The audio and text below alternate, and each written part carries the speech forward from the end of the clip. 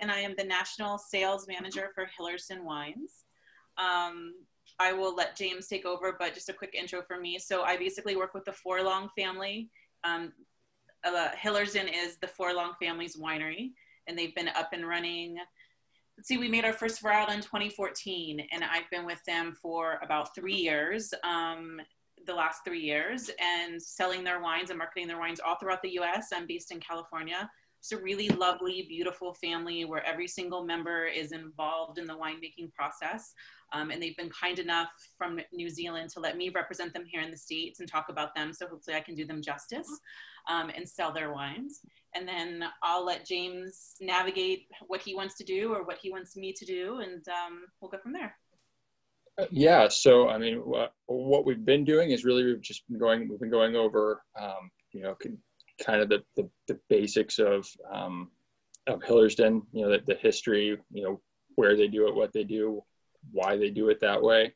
Um, and then, you know, I, I, you know, we'd love to talk about New Zealand a little bit. Um, and, um, you know, just make it kind of a, a fun uh, drink along education uh, session. So um, I, I, guess let's start with, um, you know, kind of how maybe um, the Forlong family got into uh, wine. Sure.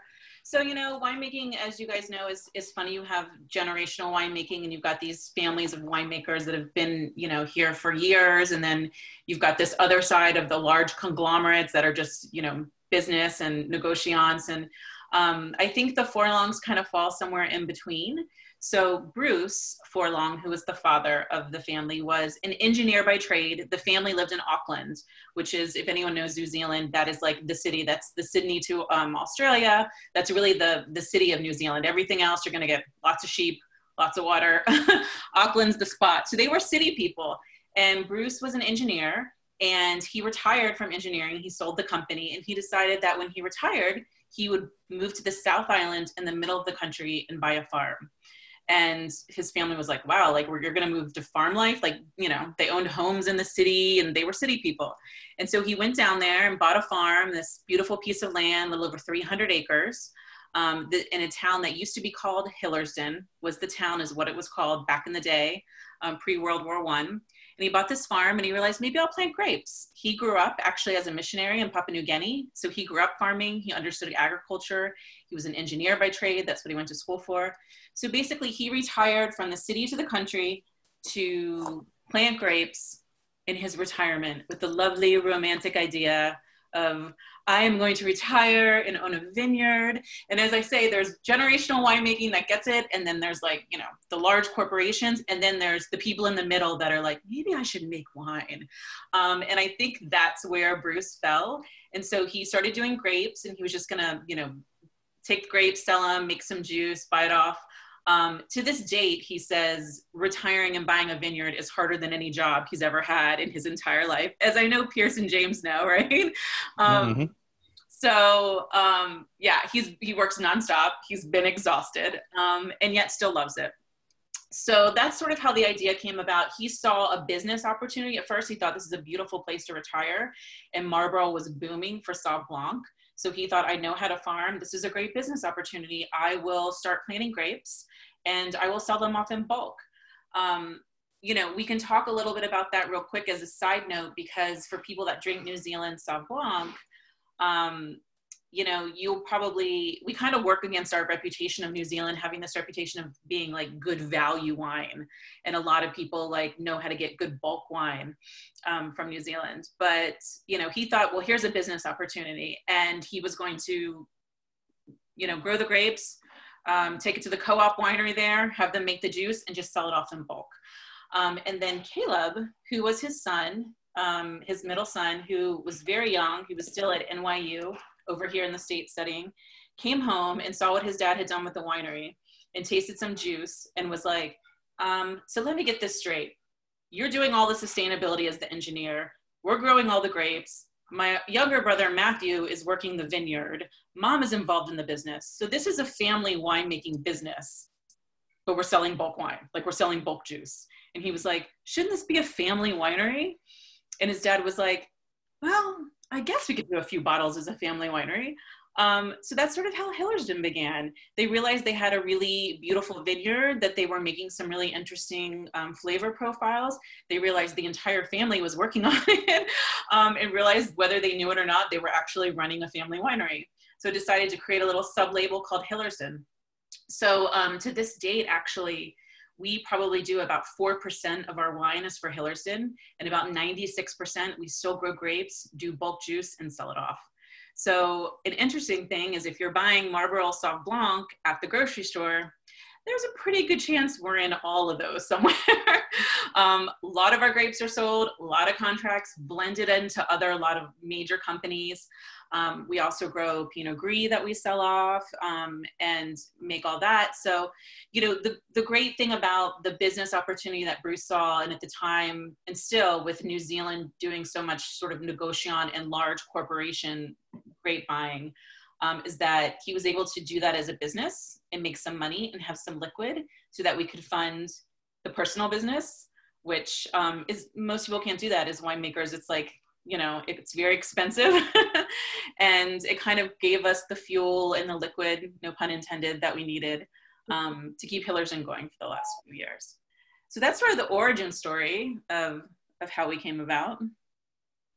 Yeah it's a pretty cool story. I mean it's it's quite a, a transition to go from engineer and then getting kind of duped into having a winery for retirement and um, then really having you know in the end a second career out of it um, it's it's a pretty cool transition and then to be able to do it with your kids is always awesome um, let's uh, let's talk a little bit maybe about uh, why he chose um, the the middle or the Marlborough area of um, the South Island, and you know maybe we can go over a little bit of the geography um, of the New Zealand wine in- industry as a whole. Sure. Um, so New Zealand wine, especially Sauv Blanc, and I know I've got some great educated wine experts on this call, so correct me if I'm wrong in regards to certain histories. Um, but you know, New Zealand really started to come about with their wine in the 70s and the 80s is when they really started to get acclaim for having beautiful Sauv Blanc, and that's the grape that they've always been known to grow there. Um, it's their obviously their number one export is Sauv Blanc. That's what almost every consumer, so every customer, if you're going to say, "Hey, do you drink wine from New Zealand?" They're always going to say Sauv Blanc. Um, they do a lot of other beautiful varietals there, but as far as what they export to the US, Sauv Blanc is what people drink, Sauv Blanc is what sells, so everything else is sort of far and few between. Um, so at the time, Marlborough had been probably, I guess, when Bruce bought this, you know, um, since the 80s, still booming with Marlborough Sauv Blanc. And it's grown, you know, quite a bit every year. Every year it still grows exponentially for what we're doing for exporting in Sauv Blanc. So again, Marlborough was why he did that choice as a, as a business um, point of view. So New Zealand is two islands, North Island and South Island. The majority of the wine comes from the South Island. So that's going to be the Marlborough area, which is sort of the top of the South Island. And then you've got the lower end of the South Island, which is Central Otago which is probably best known secondly under Marlborough for doing really beautiful Pinot Noirs. Um, so at the time, again, um, it seemed like a great business opportunity. And where Marlborough is, we are a little bit off the grid in the upper Wairau Valley. Um, still technically Marlborough, there's quite a few valleys that are considered the Marlborough region. And um, it was pure wilderness, truly. It's between two mountain ranges and the largest river in the South Island, which is the Wairau River, literally runs through our vineyard. We've actually had flooding and storms where it's eaten some of our vines and we've had to replant, um, but the soil does beautiful things also for us. Um, so it really was wilderness, and we were actually the first family to plant in the Upper Wairau Valley. Um, so we kind of planted our flag there. What's great about being a little bit off the grid in Marlborough is we have this higher elevation, sort of up in the mountains. So we have like the largest diurnal shifts, or for, you know, I sometimes I say things and I'm like, I don't even know if I understand what that means, but we have really hot days, really cold nights. So that difference of hot today really gives a really interesting flavor profile because you've got hot days that are ripening the grapes and you've got cold nights that are giving some beautiful acid. Um, so our flavors are a little bit different than like Marlborough proper, which is known for kind of being flat and hot, a little more dry. Um, so for the Marlborough, I mean, for the New Zealand wine growing region, you know, when I went there a few years, two years ago to work harvest, Marlborough does mainly Sauv Blanc, and that's their thing. That's what they do. But you can get other beautiful whites there. They do beautiful Pinot Gris, beautiful Rieslings, Gewürztraminers, Gruners. Um, that's that's really beautiful whites that ripen well, that have some really nice acid, do really well there. Their red on the South Island is Pinot Noir. Um, it's an island, so it's a maritime climate. So um, Pinot Noir grows best there, especially in the south of Central Otago. Uh, and then if you go to the northern, uh, the northern islands, um, it's a totally different deal. You've got a bunch of different islands all over, like Waiheke, they do Bordeaux varietals. It's crazy. I spent five days tasting Sauv Blancs and white wines through Marlborough, and I was like, I need a red to save my life. And I was like, I can't do it anymore. Then I went up to Waiheke and was drinking like these huge, gorgeous cabs, and it was kind of crazy and Bordeaux blends, and I had no idea that even existed. Um, but again, like like every country, they have their own wines. They have what what they do there, what they drink, their own flavor profile and their own palates. But they ex- export what sells. Um, so Sauv Blanc is the thing. Yeah, that's something they've done a really nice job of, and you yeah. probably appreciate on some level is just the the kind of all-in mentality they took towards Sauvignon Blanc, and and they really branded a whole country um, and export around it, which is it's it's relatively unique, especially in the New World, to have done that. So, yeah. kind of an admirable quality. Um, it, it's it's kind of interesting that you you know you you talk about the the Bordeaux varieties up in the north. It's it can be a real challenge up there, right? Because it's much more humid in Auckland, so they, they fight a lot of disease can, and um, other pests up there. Where you have a, a, a, little bit more pristine growing area um, in the southern island, and you have I, I think you have a more mountainous terrain in the southern island. Um, yeah, I mean, I yeah, I think so. I would say so. Um, yeah, and in the northern islands, so you have the North Island, but then you have a variety of different islands all scattered above the North Island. So it is a little hotter. You know, it is the weather there actually works a little better for Bordeaux. Um, but again, like you know, people customers aren't really going to want a cab from New Zealand. It's just they're going to want a cab from California, you know, or they're going to want a Bordeaux blend from France. And we actually, as a winery, I would love to hear people that you know just love to go out and buy wine and how they shop for wine at some point on this call. Because we, as a winery, when we started, we were doing rosé, we were doing Pinot Gris, we were doing Riesling, um, we were doing rosé. They were all awesome, but nobody bought them nobody bought them. People were like Pinot Gris, Italy, Pinot Grigio. Like I don't want that from New Zealand, and they, you know, and they and even Pinots. Our Pinots are tough because people still haven't caught on for Pinot. So, you know, consumers are funny and their behavior is funny, and it's it's it's been interesting for us because we're so passionate about wine and we're wine lovers to have to try as a business to think in a consumer mentality of how someone walks into a store and buys something um, so that's always really difficult. We make great wines, but like people just want sort of what they know. Um, and so we've actually scaled back our portfolio, and now we just make, as you guys know, many different styles of Sauv Blanc. so yeah. if that's what the people want, we're going to give it to them times five. Yeah, I mean, why don't you talk about? I mean, I obviously have had um, most of your Sauvignon Blancs, but why don't you talk about a little bit about the other wines that you guys produce and, and how they differ um, you you Hillers single-handedly changed my mind about sparkling Sauvignon Blanc. Oh, yeah. The, the ones I had had before were true garbage. Like, uh, same same here. Uh, really, having had some of the same ones James had. Uh, long story short, Sauv Blanc bubbles uh, changed it for me. Well, and you guys haven't had our estate sparkling, right? Haven't had uh, that. No. So I love to hear you say that about the long story short um, sparkling but our estate sparkling, which we were not able to do last year for a winemaking reason, which we can get into if we want to, but um, that it's been 91 points wine enthusiasts, and that has been our showcase wine. And you guys haven't even had it yet. And I love our long story short bubbles, but I have to say, when you have the estate, which is done Charmat style, so um, similar to how a prosecco is made, um, it is it's amazing. Like it's so fantastic and it's so good that it is the one wine that still every day I open up my email and people are like, Hey, I had your sparkling at a bar in Philly. Where can I get it? And like, we get those almost every day. And I'm like, I'm sorry, next year, um, you know, or it's, we've sold out of it every year. Like every time we think we're allocating our inventory properly, we sell out. So I really can't wait for you guys to try that. Um, but going back on wine, so we do, we really realize like Sauv Blanc can actually be a versatile grape and people that love Sauv Blanc can love it in a bunch of different styles. So you guys are drinking this, which is our long story short Sauv Blanc. And we have the bubbly version. So the version of just has some light carbonation and it just, like Sauv Blanc is already so crisp and so refreshing. We wanted to do something that felt a little celebratory. So just adding a few bubbles to that becomes a brunch wine, becomes a really fun happy hour wine, a really fun like, you know, wedding cocktail hour wine. Um, so that is one variation of how we do Sauv Blanc. And then we have another sparkling Sauvignon Blanc that I just spoke about. So that's Charmat. So that goes through a little bit more of a rigorous process, fermented twice in a pressurized stainless steel tank, made very similar to Prosecco. Um, and then we have a Fumé Blanc, which is 100% oak barreled.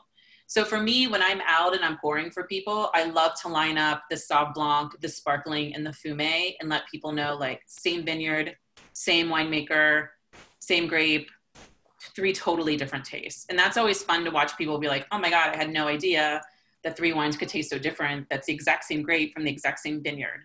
Um, that's always a fun tasting thing that I like to do for everyone. But you know, again, like it's a really versatile grape. I think it does some great things if you have a talented winemaker, and um, it's fun to showcase what it can do. And when I said like consumers don't want to buy necessarily Pinot Gris or Rosé from New Zealand or a lot of these things, they do love Sauv Blanc from New Zealand. So then they see the sparkling Sauv Blanc from New Zealand and they're like, oh.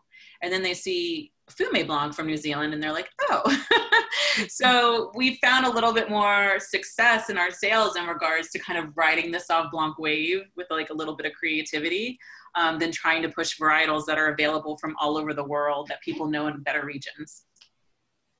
Do you think that um, maybe as the brand grows, the um, outlook at other varietals from you guys might change? Um, for us personally, I would say probably not. I think there needs to be a much larger consumer shift, like in the market. I think, you know, the reason why Sauv Blanc from Marlborough in New Zealand got put on the map is because, you know, we had a number of critics start writing us up as, you know, that were respected wine critics as having, you know, Sauv Blanc as good as Sancerre, you know, and French Sauv Blanc. And so that's how it caught people's eye. So I really think until, you know, we start getting recognition for Pinot Noir, or you know, people are starting to say like, oh, you, there's some type of marketing push or change of mentality that New Zealand Pinot Noirs are as good as Burgundy or as good as California. Then I, think, what's that? They are for people they who are. They are. Um, well, from your li- from your lips, James. but um, but until people get that, like, then we'll do it. But when you're a small family winery, like, the bottom line is, is what we realize is you know production takes a lot of money marketing takes a lot of money labels on every bottle takes a lot of money so at the end of the day like you we can only make what sells you know right. that's it like we have to make what sells and it was heartbreaking for me because i think our pinot gris is so beautiful um, but the grapes are there. We still sell them. Uh, we're working on a tasting room in the vineyard. So we'll probably do that a little locally and do some reserve. Um, but as far as like you know cranking out the cases and shipping them to the us um, I think there'd have to be a big shift in consumer behavior for that to make sense, just from a business point of view. Yeah, I mean, I think that's I think that's something that maybe some people don't necessarily recognize is that it's a huge barrier on some level to have more New Zealand wine in the states because shipping from New Zealand is a that's a long ways to send wine, and to have it at a, at a reasonable price is it's not the easiest thing to do. Uh, yeah. Like you said, it all costs a lot of money. Um, I want to just jump back real quick when she was talking about Fumé Blanc that is Sauvignon Blanc, and I, believe it, it's essentially was a marketing term used in California, and I, I believe it was Mondavi who kind yeah. of led the that's, way with it. I think that's what I remember as well. Yeah. Um, so if there's ever any confusion they are the same grape, just um, worded differently. Well, and it's funny that you say that because I think it was Mondavi, and he did it sort of as a marketing tool to try to like get people to discover a new wine, which was really just Sauv Blanc, but it was oaked. Um, and fume means smoke. So it was supposed to have like a little bit of a more like flinty, kind of like smoky um, sort of style than like a regular Sauv Blanc done in a stainless steel. And when we were doing ours, it is 100% oak barreled. So we had these internal conversations like, should we call it Fumé Blanc or should we just say Sauvignon Blanc oak barreled? And what it really came down to is California being one of our largest markets, when people hear something is oaked, especially a white wine, you guys probably know what I'm about to say. Like your mind instantly goes to Chardonnay. And you instantly think you're going to get something buttery or like super oaky, which is not the taste of our Sauv Blanc at all. So we actually thought putting like 100% oak barrel on a Sauv Blanc would turn people off for all those people that don't like Chardonnay, and for the people that like Sauv Blanc that were like, oh, I, like I don't want a Sauv Blanc that tastes like Chardonnay. Um, so we made like the marketing decision to call it Fume. Yeah, I think that was a really, I think that was a really sharp move. I think that absolutely helps the consumer. I know it's helped me a little bit um, when I'm taking it to to people to sell it. It's um, it, it's approached differently. Just I think really, and even for people who know wine, it's approached differently. Yeah, it is, and, and I think it's a I think it's a really lovely wine. I think it has some beautiful structure. I think it's really interesting. It got we just got a 91 points back on that wine from Wine Enthusiast. Uh, I love to pour that wine for somms and wine directors that are buyers because it's something new for them um, you know, from a sales point of view, like when I'm out there selling and I'm talking to someone at, at, a bar and they're like, I've already got a New Zealand Sauv Blanc. I'm like, but do you have a Fume? You know, or do you have sparkling? So that was like the business reason um, also behind our, some of our decisions is like, we wanted to take the no out of out of people saying something to us. Like you know we had our estate line and people were like no you know this is too expensive. I don't want to pay $12 for sauv blanc. I like to pay $8 and that's what we heard. Your your sauv blanc is beautiful but i need it at a lower price. And i heard that from the first year that i went out. So we went back and we made long story short and we released that brand last year under our hillersden because now it takes the no out of it. It's like oh now we have an $8 or $9 sauv blanc. And when they say oh i already have a sauv blanc we can say do you have a fume? Do you have a sparkling so, um, you know, it's interesting for us because, you know, I know that you guys are winemakers and we are a small family winemaker and you do it, you know, or a lot of people do it with romantic notions and I want to make wine and it's fun and I'm passionate. And then when it comes time to market it and to sell it and to put it on the shelf, you have to switch to this whole other business person side that you didn't know you had in your brain. It's like, well, it's great wine. And we kept telling everyone, our wine is so great. And this is our family story. And a marketing team finally worked with us and said, well, everyone thinks their wine is so great. And everyone thinks they have a great story. So who cares? It's all white noise at this point, you know? Oh, yeah, there's so, truth. Yeah, they said, stop making you the hero because people don't want to hear that and figure out how people are buying and, and market that way. So it's just, it's, it's interesting as you guys know as winemakers to, you know, try to figure out that whole other side um, of the business aspect. And we've revamped our entire portfolio. We've invited, you know, changed our SKUs and our varietals from literally what we grow and what we plant. Um, we've changed our pricing. We've changed our labels. We've done everything thinking like, okay, I'm not the winery, but I'm the girl walking into the grocery store. This is what I do what yeah. do I do now? And we we built everything on on that girl instead of the person saying like, oh, our wine is fantastic, it's lovely, hear our story, you know. It's really hard if you're not if you're not selling it directly to the consumer. There's a lot of stuff on the shelf, and it's really hard to for sure stand out. And I mean, the way you guys label um, the long story short, I think I think helps. It's it's something that's very visible, and yeah.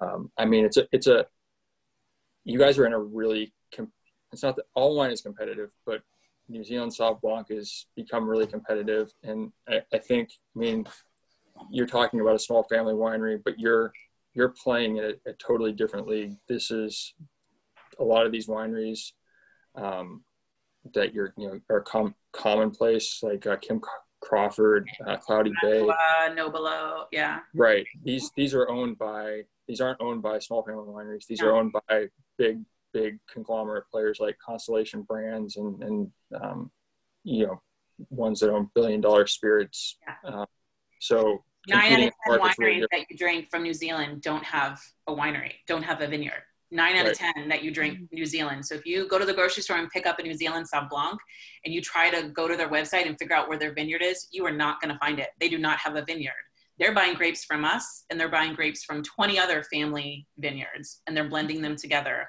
or you know they're sourcing all their grapes or you know so there's no story there and, and that's fine there doesn't have to be a story but then we talk about volume and then we talk about quality control and i mean a great story to tell is when i was there for harvest new zealand is very different than california and very different from other regions that most vineyards do not they don't have their own wineries in new zealand. This isn't commonplace like california. So there's literally like three wineries in all of this all of the marlborough area and they're co-op wineries. So if you're a family winery you take your grapes and after you pull harvest, you take it to the co-op, you have a slot booked, you've got the workers there, they're doing your grapes, they're pressing, they're they're doing your tanks, and your winemaker shows up, but you've got to schedule your tanks, you've got to schedule your prep, you've got to schedule everything that you're doing. A lot of it's out of your control, timing wise, scheduling line. You're sharing facilities with all your competitors in the area. Um, so there is a lack of quality there and a lack of control there. And when I was there, I was walking through a bin and they had grapes. And I looked in and looked at these grapes and they were like Botrytis, there was like fungus. They looked awful. I mean, we drop a lot of our fruit, like, and for those of you that may not know what that means, like, we walk through and we drop anything that has a fungus, that's disease, that doesn't look good. Like, we drop a lot of our fruit so that the grapes that actually go in the wine are, are really good quality. And a lot of those bulk brands, they just they throw everything in because it's about how much juice they can actually get. Um, but I looked at this tank, and I mean, I looked at the bin, and it was just like grapes were fungus. It was disgusting. And I was like, excuse me, can you, you please tell me what winery that is? Like, cause I was like, I need to know who I'm not drinking right now.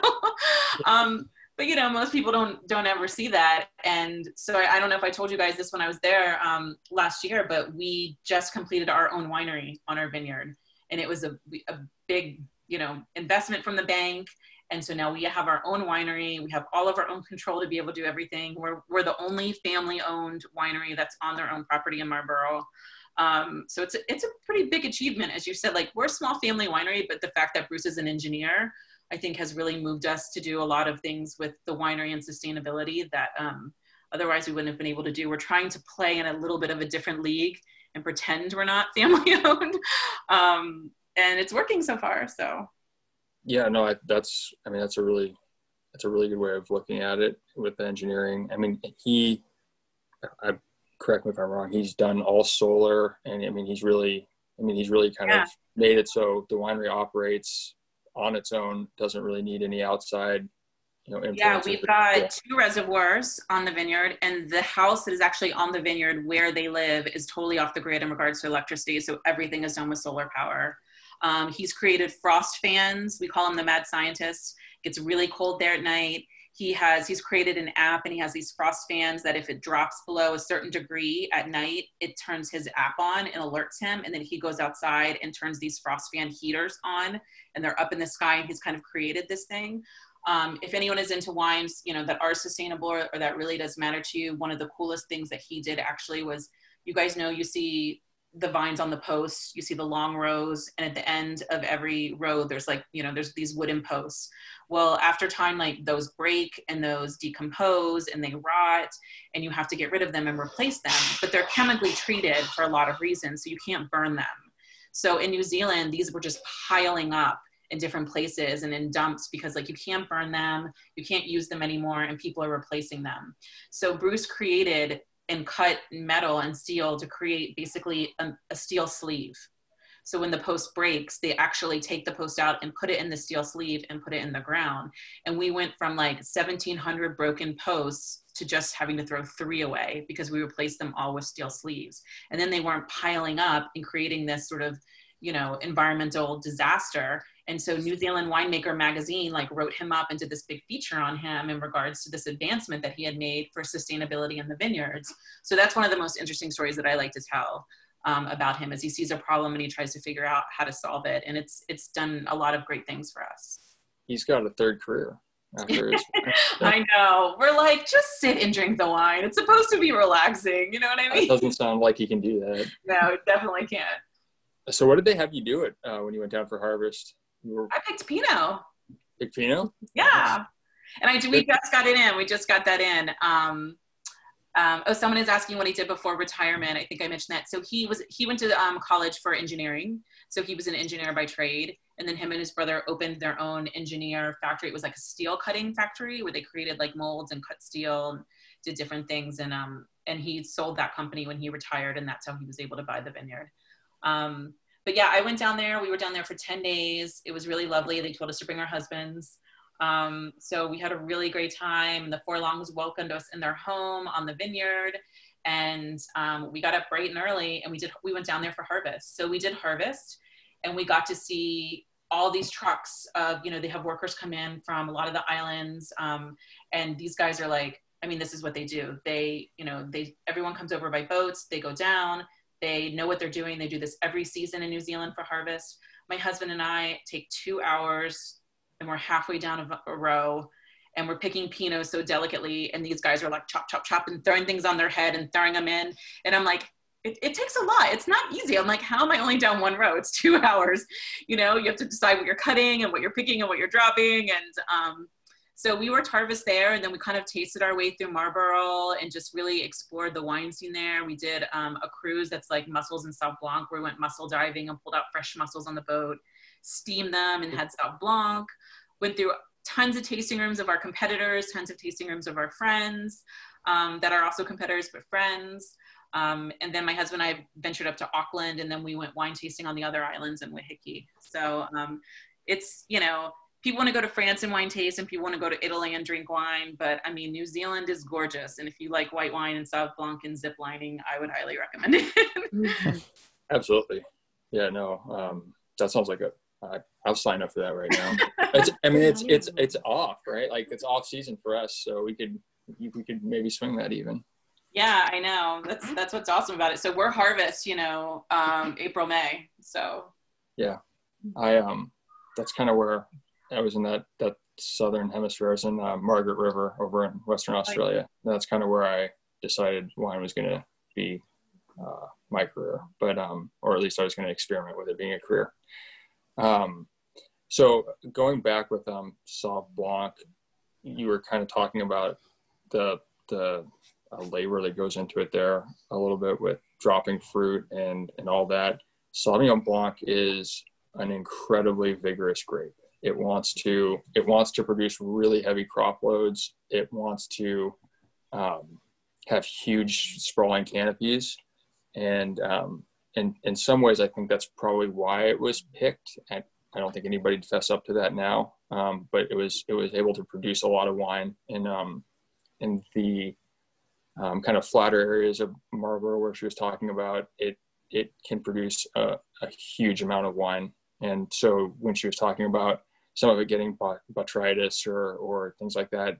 It's it's a volume thing where if one bin has a little bit of rot in it, a lot of these bigger brands don't necessarily care because if they have uh, another thousand, they are going to blend it into many more grapes, and people aren't really going to taste it. But for a smaller winery, it'll definitely affect the quality, right? Absolutely right. I mean, even I mean, even a few bunches in a in a small batch will affect the taste a lot. So, um, yeah, for a small winery, that that makes you cringe and feel a little bit ill. But uh, but and you know, talk about the business side of that. You know, people always say like, what makes the difference between a fifteen dollar bottle of wine and a twenty five dollar bottle of wine and a thirty five dollar bottle of wine? And there's so many, as you guys know, there's so many things that come into play. But as we talk about this, that's one of them. So the more fruit and grapes that you put in the bin, the more juice that you get, the more you can bottle and the more that you can sell. So sometimes right. you have these family wineries and you think like, oh, I'm paying fifty dollars of you know, $50 for this bottle because it's a family winery, which means they're fancy and it means they're good. Like in some regards doesn't always even mean that they're good. It means that, you know, they spent the same amount of money to grow a lot of fruit, but then had to drop, you know, maybe a lot of grapes or their volume has to be smaller. They had less juice or there's a number of reasons why it was more expensive. Sometimes it is because they're better. Sometimes it's, it's not. Sometimes it's because they had mistakes that year or it makes it more difficult. Um, so yeah those sort of things and the volume and you know how much you know juice you actually produce also affects the price. Yeah i mean from a from a perspective of um, you know you'll see some bulk brands go up into the 10 tons per acre. Um, you know for a small winery some of like the really famous regions or, or even some of our vineyards you'll be doing more like two and a half tons. Yeah. so just on grape grape cost alone um, that can uh, affect it there. And then, you know, from a, a, labor standpoint, you know, it's just, it's how many people have, how many people versus a machine probably touch your wine is a huge part of the cost as well. Yeah. Um, you know, and, and, and did it go, was it in a big stainless steel vat? If you're oaking it with a red, was it a, a, an old barrel that got cut up and just tossed back in?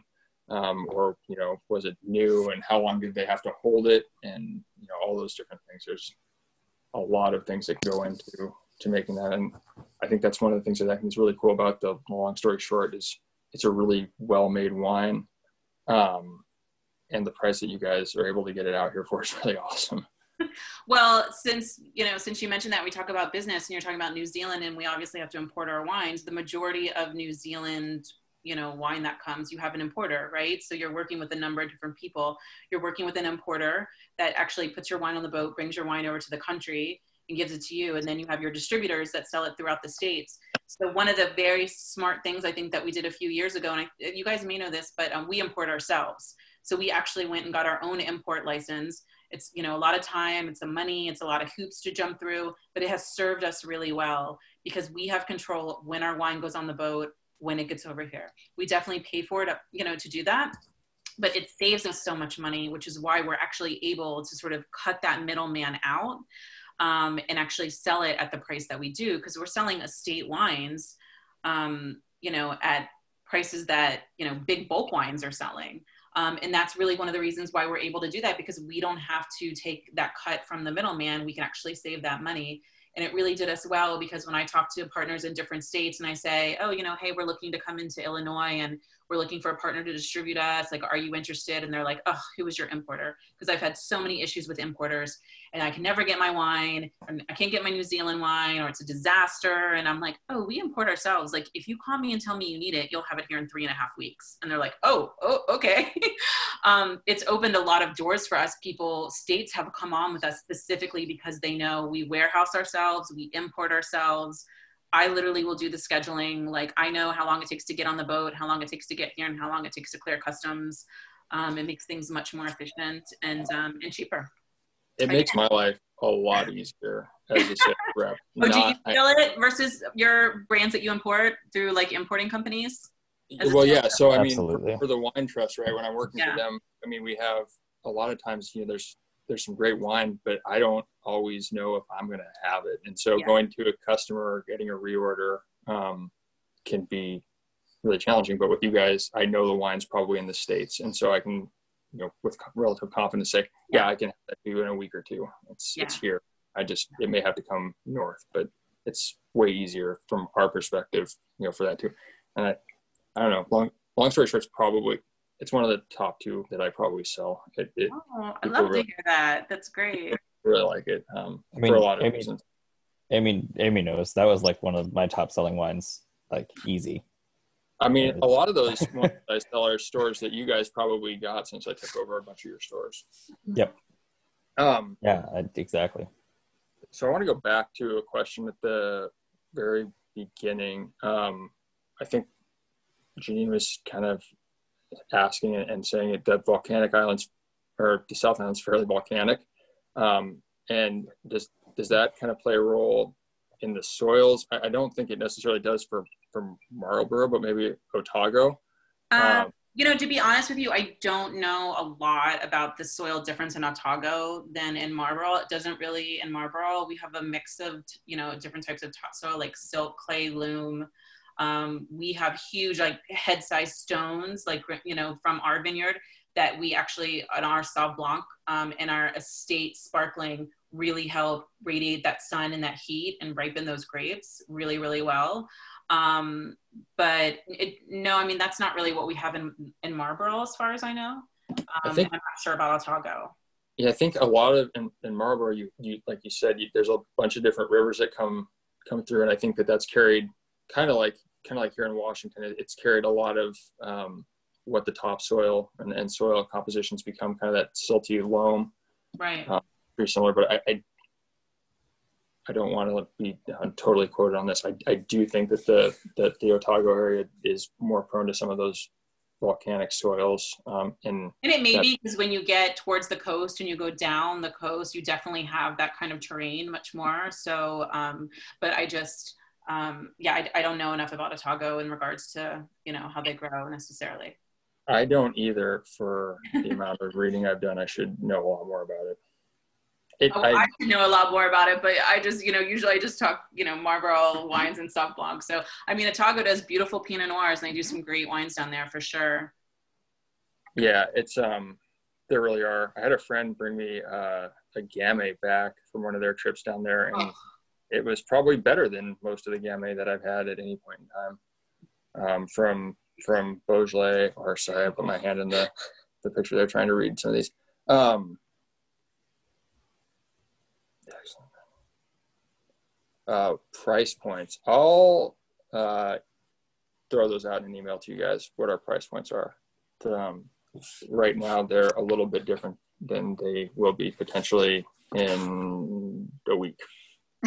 Um, they so, want whichever price is best, the price now or the one in a week is what they yeah, want. You, you, you want the price now, um, but um, I'll put those out to you guys. Um, let's see. Uh, I guess if there's more questions, let's let's take those. Um, if there's any, anything that anybody else wants to know about New Zealand or um, or Hillersden as a whole, um, I think we ended up covering kind of a, a lot there, maybe in a different uh, in a different route than I intended to. Sorry. oh, nice. Uh, long story short, is um, someone's favorite friend Sauv Blanc in Australia. So. That's awesome. Um, yeah, that's uh,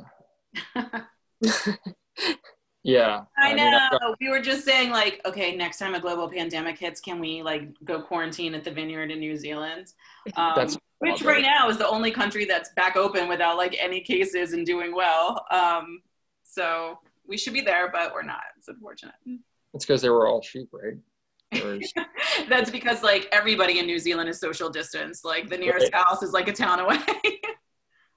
yeah, no, totally. Um, I, it's a country I would really like to go to. I, uh, my friends went there after we were in Australia, and I didn't go. I actually stayed. I mean, it was a good choice because I stayed in Western Australia to work with wine. Um, but I wish I had gone it's uh, it and I will say, since we're talking sheep, in case people don't know, is that we actually are also a working sheep farm because if not, like they would take our license away for not being New Zealand, not being Kiwis professionally. But um, we have 500 sheep on the farm.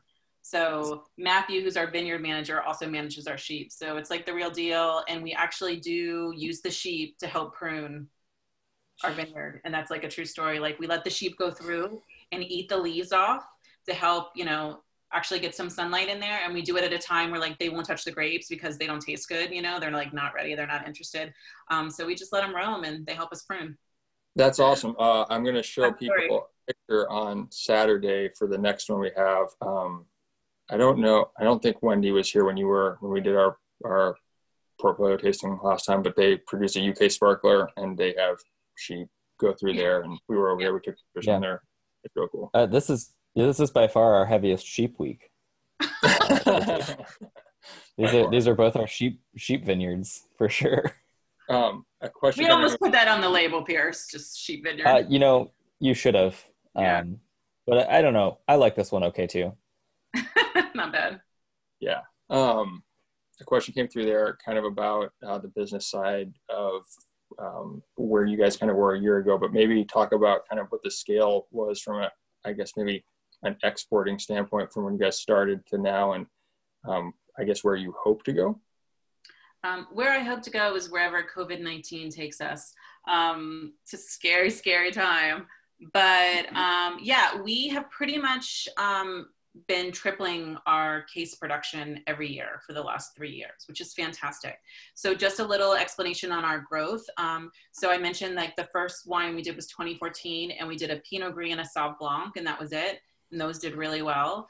Um, obviously, um, we now have our 2019 that has just come in. So really, we're just like four, five varietals in. So four or five years, still very young for, and I feel like we've accomplished a lot for what we've done.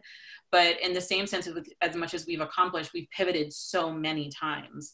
Um, and I think the tough thing for like a small winery is every time you pivot or you make a mistake business wise or you have to change, it's all dollars, right? From a business point of view, costs money, you guys know, right?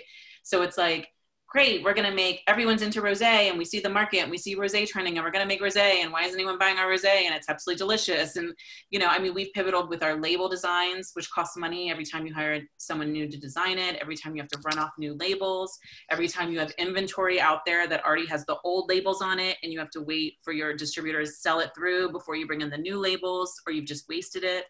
Um, so we pivoted with labels. We pivoted um, with our varietals. We had seven different varietals at one time. Now we're down to you know four or five different Sauv Blancs. Um, so we've had a lot of growth. We've had so much change too. And if we hadn't had that change, we would probably have more growth.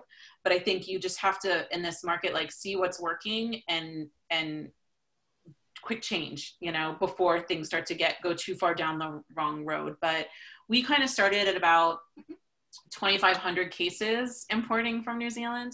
Um, and this year, uh, we were on track to do 15,000 um, from New Zealand. And we cut that back to 10 because really, when we were shipping everything over, it's supposed to be the end of May. So when COVID hit in March, um, we ask all of our states and all of our partners like can you tell us how many cases you think you need and we we take that number and we mm-hmm. do that into our inventory and so we're like 15000 and then we're like or not um, so we really we trim that back um, but yeah we are growing exponentially. For instance when i came on three years ago we were in seven states and we are now in 29 states.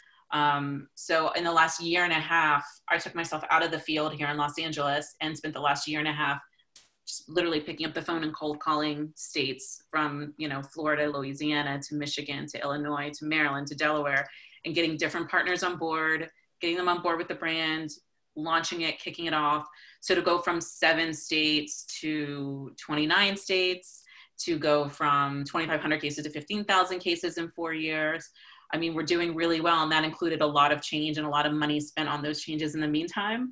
Um, and literally, I mean, it's like, it's not funny, but literally, we are like, oh my God, this year at the beginning of the year, we're like, we finally did it. We have all of our ducks in a row.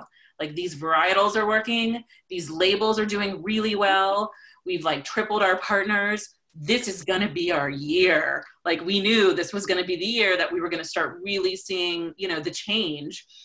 But it's 2020, so that didn't happen because you don't know. You don't know everybody's that. ass. you don't know that. You have seven months left, six months left. Uh, That's true. That's you can true. still do it. Let's uh, let's not let's not slam the door. I mean, the great thing, no, and I will say the great thing is that you know, as guys in the industry know, like wine retail has skyrocketed, right? And if and it's funny because like if we were in a position where we had already been on wine.com or we had already been on some of these retails we would be insane. I mean our partners have lost a lot of our partners have lost a very large percentage of their business because restaurants are closed but they're almost making up for it in what they're doing for retail. And so i had just acquired um, a 110 store chain right before this happened in California called Save Mart and Lucky. And they brought us in and they tested us in a certain amount of stores and we did really well. And they ordered a pallet, 56 cases. And then three weeks later, they ordered another pallet, 56 cases.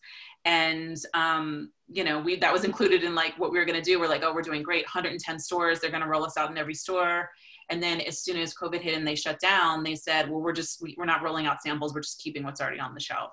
So if we had have made that window and been in there right before, we wouldn't be seeing issues. You know, if we had have been on wine.com or a lot of the online retailer sites, um, you know, I think like, and we are doing okay, but you know, we just, you, the retail would be making up for what you're losing for restaurants. Um, I mean, it's, it's hard, right? Because there, there has been a little bit of mentality that, that sales are way up and there is a little truth to that. I know there was a wine enthusiast article recently. Is that was that the publication, Pearce?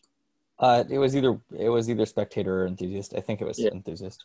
Actually, I mean, you had the article firsthand, so I, I, I don't remember if you remember the details of it, but it, it kind of alluded to the fact that it's it's a little bit of a the industry as a whole is still taking a pretty good shot right now, yeah. um, and that yes, people are drinking more, but it's it it's not compensating totally for what's been lost from a restaurant standpoint. I know, you know, I know. Well, not just restaurants, but venues and theaters and entertainments and beer. So mm-hmm. that's, I think, yeah. where we're seeing a lot of that. You know, those issues happen.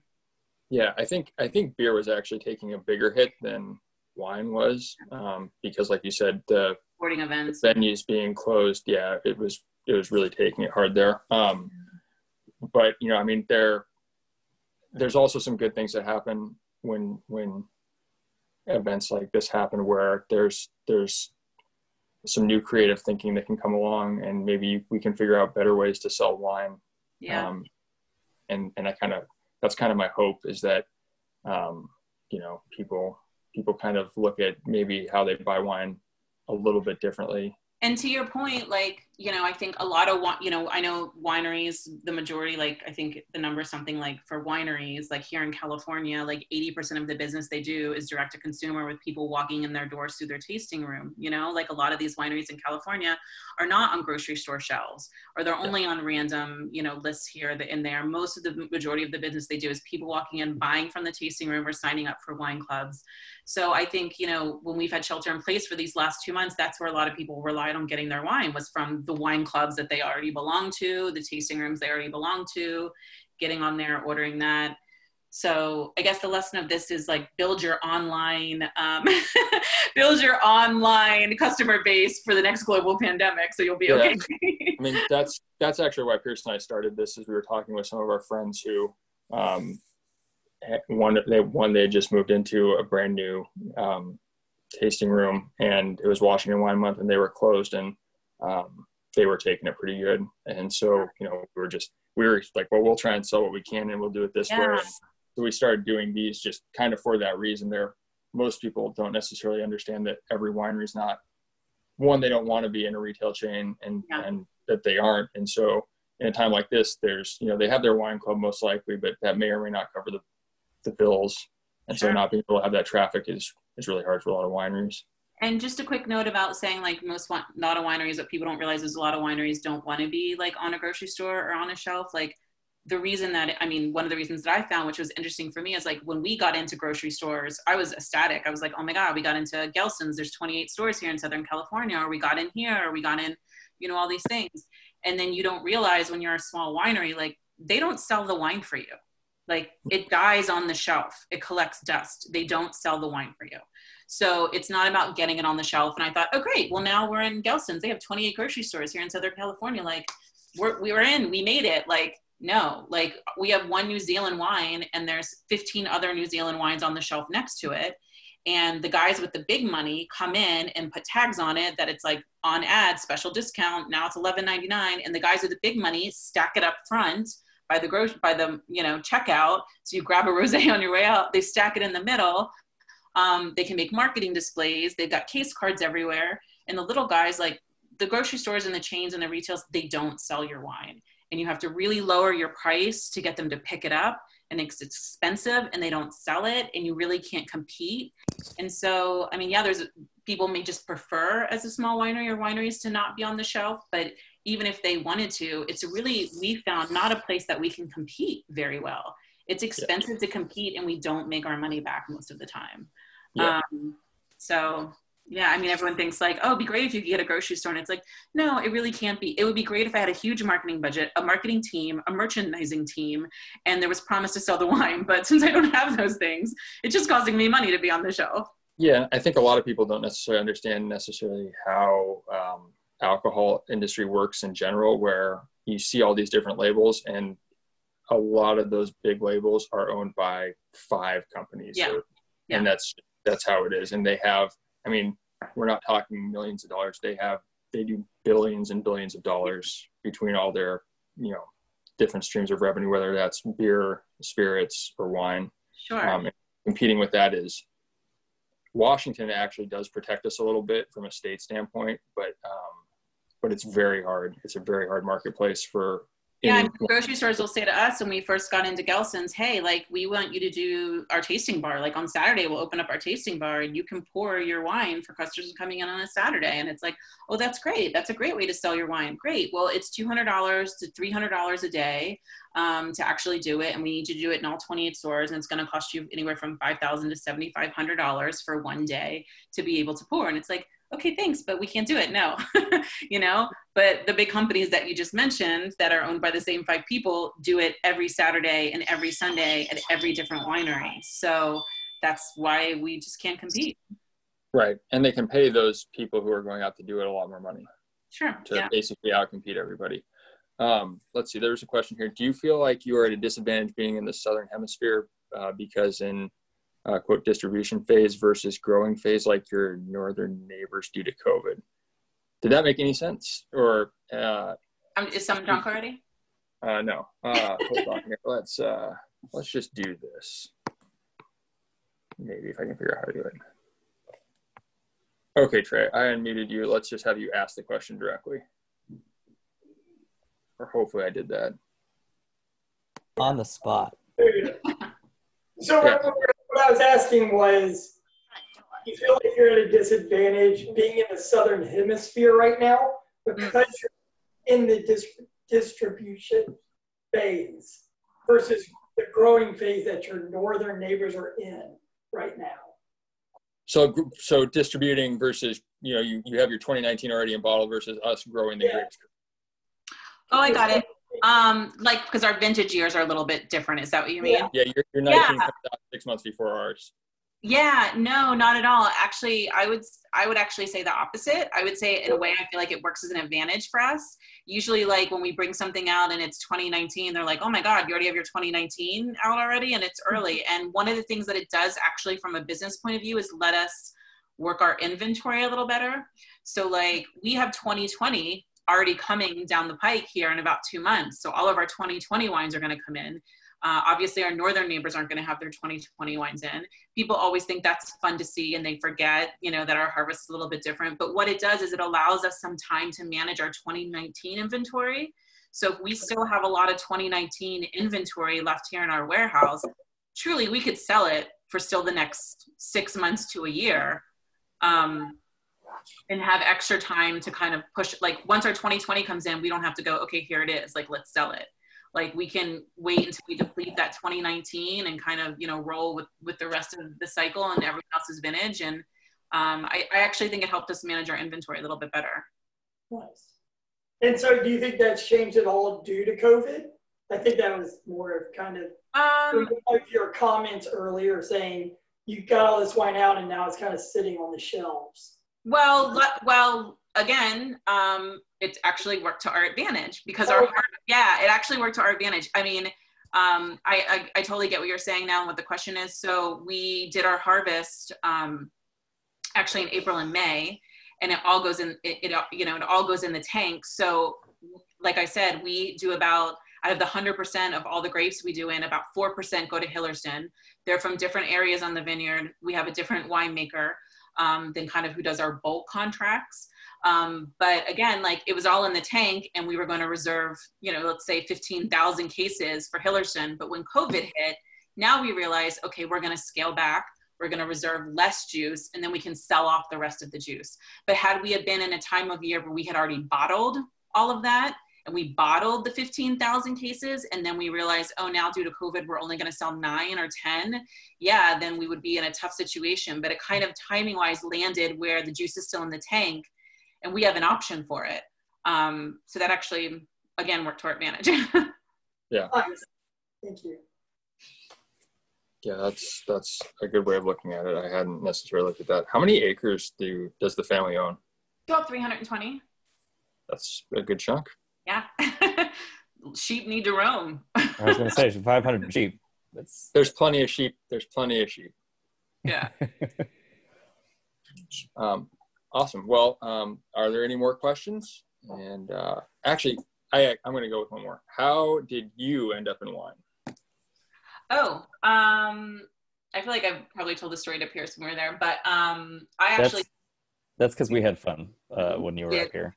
We did have fun, by the way. I do a lot of market work. I go out with a lot of people, and that was like one of, I mean, you know, top days where I was like, we're like, should we just go drink wine? I mean, let's just go drink wine. Let's just go do what we love. I, um, I know. I did the victory tour and then the drinking wine. That's like a great way to say, like, okay, we've got it in a bunch of stores. I know because when I was there, I was telling Pearce my love for Washington wine because I really do. Um, and I actually have a side project one day I'll talk to you about, but um, that involves Washington wine. Um, because because I have such a love for it. But I actually went to school for film and filmmaking in Baltimore, and I actually started my career in film and moved to New York to do film and TV, and that's why I actually moved out to LA so worked in the film industry, working in movies for, I don't know, about 15 years or something. Um, and I guess like the easy version of the story is that I just got really burned out. It's like I had done like three movies or like, no, I did five movies in like two years all on location. So I was like never home and I was working like 24 hours a day and I was working for like an actor, director, producer that was like running me ragged. And you know we'd be on set or we'd be you know in london or we'd be in new orleans and he's like you know sometimes i feel like you just want to hear the word wrap so you can just go get your glass of wine. And i was like you know what? Yeah, I do actually. Um, and it was then that I started to realize like I was waiting for my days on set or my hours to be over so I could go eat and drink wherever I was, like in whatever city I was in. Like that's really all I really wanted to do. I didn't want to make the movie anymore. I just wanted to go eat and drink. Um, I think that's really how I kind of figured out I had a love for wine. And so, you know, there was a couple pivots there, but like basically I left the film industry, which is the only thing I ever went to school for and lived in New York and LA for and started all over from the bottom up. I went to a restaurant, went back to making like nothing at a restaurant, like being a wine director and buying and learning. And then I went and like, you know, got my WSET and just like went back making nothing, no pay, started my education from the bottom up. Um, and then, you know, kind of sold wine a little bit direct to consumer. And then I was the wine director on premise somewhere and was buying for on premise and off premise. And then I was like, I really feel like I want to work for a supplier. Like, I really feel like I want to find a brand that I love. And I just started looking, and that's kind of how I found Hillersden. And then I've been there for the last three years. Good choice. But you got to do yeah. what you're passionate about. And if there's two things I love, it's like movies and wine. And my husband still works in film which is fun. So now he does all the movie stuff and I do all the wine stuff. I get the free wine, I get all the perks when we go places. I get like, you know, the industry discounts and we have he gets to come to New Zealand and then he does, you know, he does movies now, which, you know, he still hates too, but but I, I, I give him a lot to drink, so it's fine. he gets his glass of wine at the end of the day. Yeah. People have no idea what a perfect crime it is to work in wine. I mean, it's a lot of work. They they don't. It's not the romance novel, but like the perks are pretty good.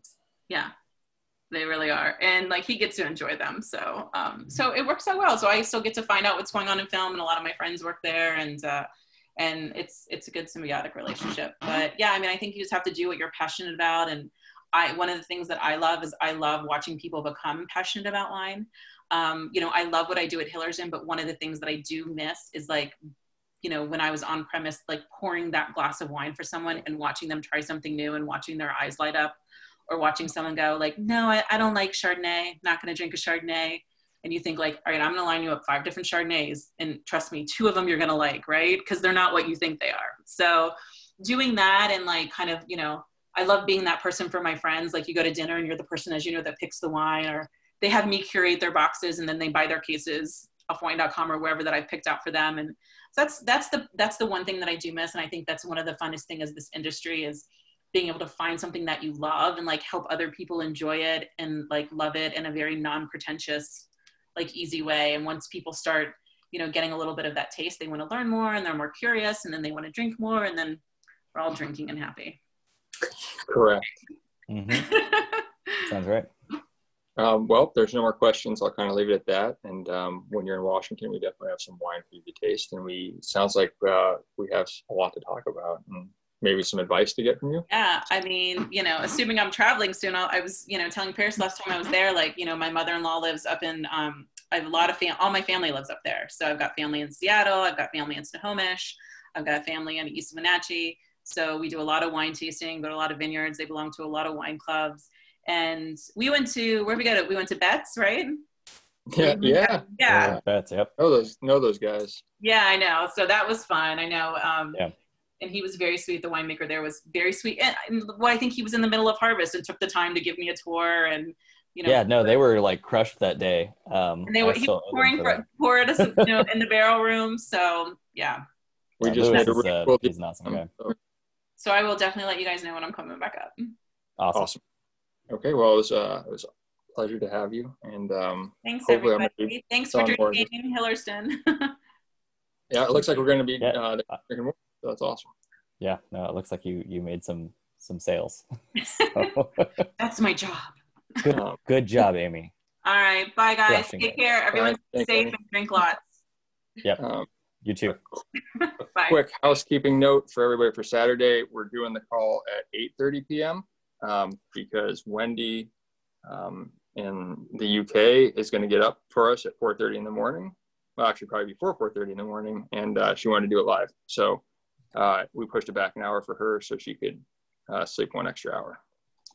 But the sheep will be up, so she might be drinking. It is the blast. Um, yeah, but anyway, um, thanks everyone. That was uh, that was fun.